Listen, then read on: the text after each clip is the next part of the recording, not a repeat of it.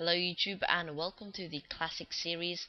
In this video I'll be showing you how to get Windows Live Messenger in Windows 7 in the system tray.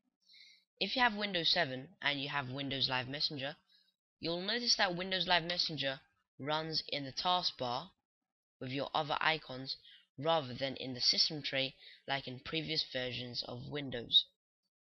I personally quite like the new feature of Windows Live Messenger and in Windows 7 where you have your status in a preview but you may also like it as an icon in your system tray. It does look a bit neater I guess.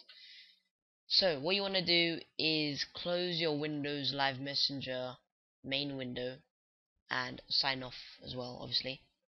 And then close your status preview thing. And once you've closed that right click on the Windows Live Messenger icon and right click on Windows Live Messenger and then go to properties. It can be any shortcut on your desktop by the way. Then go to compatibility and then go to run this program in compatibility mode 4 and then select Windows Vista Service Pack 2 click apply click OK and then run it again. And there you go. I've got it in my system tray like in Windows XP Windows Vista. So you know I can just double click this and it opens straight to Windows Live Messenger. And also remember to add my MSN account here pcprokid7 at hotmail.com if you have any inquiries just ask me there.